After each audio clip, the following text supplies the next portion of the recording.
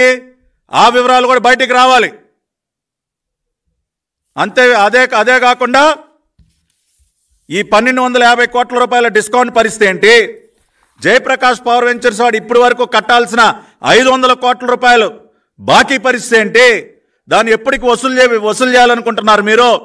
ఈ పన్నెండు వందల యాభై కోట్ల రూపాయల నష్టాన్ని ఎవరు భరిస్తాడా? మీ సైకో జగన్ భరిస్తాడా? మీ ఇస్కాసురుడు జగన్ రెడ్డి భరిస్తారా? కట్టండి డబ్బులు.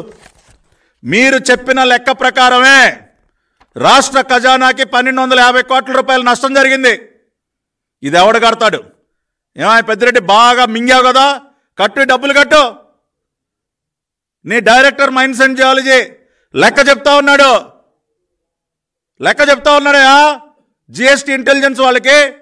కాబట్టి ఖచ్చితంగా ఏదైతే పన్నెండు వందల యాభై కోట్ల రూపాయల నష్టం జరిగిందో రాష్ట్ర ఖజానాకి ఆ డబ్బులు సంబంధిత శాఖ మంత్రి పెద్దిరెడ్డి కట్టాలి. టెండర్ ఫైనలైజ్ చేసిన గోపాలకృష్ణ ద్వివేది కడతాడా? వెంకటరెడ్డి కడతాడా? లేదంటే ఈ రాష్ట్ర ముఖ్యమంత్రి జగన్మోహన్ రెడ్డి కడతాడా? ఖచ్చితంగా జరిగినటువంటి నష్టాన్ని మీరే పూరించాలి. వదిలిపెట్టే ప్రసక్తి లేదు.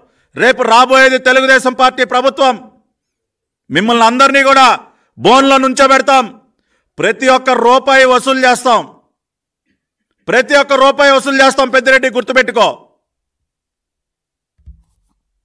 రాష్ట్ర ఖజానాకి ఇంత పెద్ద పెద్ద చిల్లులు పెడుతూ అడ్డగోలుగా వేల కోట్ల రూపాయలు ఇసుక మీరు మింగేస్తూ బినామీ కంపెనీలను తెర మీదకి తీసుకొచ్చి ఇష్టానుసారం వాళ్ళకి టెండర్లు కట్టబెట్టి భారీ భారీ